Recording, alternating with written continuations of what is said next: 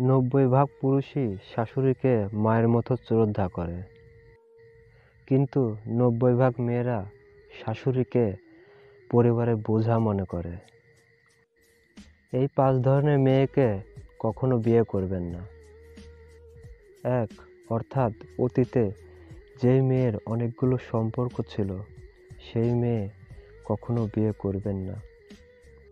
কারণ একটা ভালো মেয়ের একটা দুটা সম্পর্ক ভুলবশত হয়ে থাকে, কিন্তু একাধিক নয়। দুই, সেই মেয়েকে বিয়ে কখনো করবেন না। যে মেয়ের স্বামী থাকা সত্ত্বেও পরপুরুষের সাথে সম্পর্ক করতে রাজি হয়। তাকে বিয়ে করলে আপনি কখনো সুখী হতে পারবেন না। তিন, সেই মেয়েকে কখনো বিয়ে করবেন না, যার ছেলে বেস্ট ফ্রেন্ড আছে। এবং পরপুরুষের সাথে কথা বলার অভ্যাস আছে এবং যাদের অনেক ছেলে বন্ধু আছে। ভালো মেয়েরা কখনো ছেলে বন্ধু বানায় না। চার সেই মেয়েকে আপনি কখনো বিয়ে করবেন না, যারা সোশ্যাল মিডিয়ায় আসক্ত। যারা ইনস্টাগ্রামে শর্ট ভিডিও বানায়, ফেসবুকে রিল ভিডিও বানায় এবং ফেসবুকে সব সময় ছবি দেয়। পাঁচ সেই মেয়েকে কখনো বিয়ে করবেন না, যারা বন্ধু বান্ধবের সাথে আড্ডা দেয়। কখনো বাবা মায়ের কথা শোনে না, এমনকি গুরুজনদের সম্মান করে না।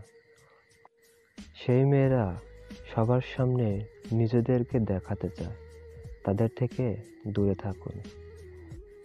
ছয়, সেই মেয়েকে কখনো বিয়ে করবেন না যারা তার নিজেরটাই বোঝে এবং তার ফ্যামিলির কথা আগে দেখে। সাত, সেই মেয়েকে কখনো বিয়ে করবেন না, যারা নেশা করার অভ্যাস আছে। ভালো মেয়েরা কখনো নেশা করে না। বিবাহিত মেয়েকে স্বামী ভর্তিও অন্য কেউ ভালোবাসে না। আর যদি বাসে, তাহলে তার শরীরকে, আর তার শরীরের ভালোবাসা একবার কাছে পেয়ে গেলেই। তারপরে ভালোবাসা কীভাবে যে পাল্টে যাবে, তুমি নিজেই বুঝতে পারবে না।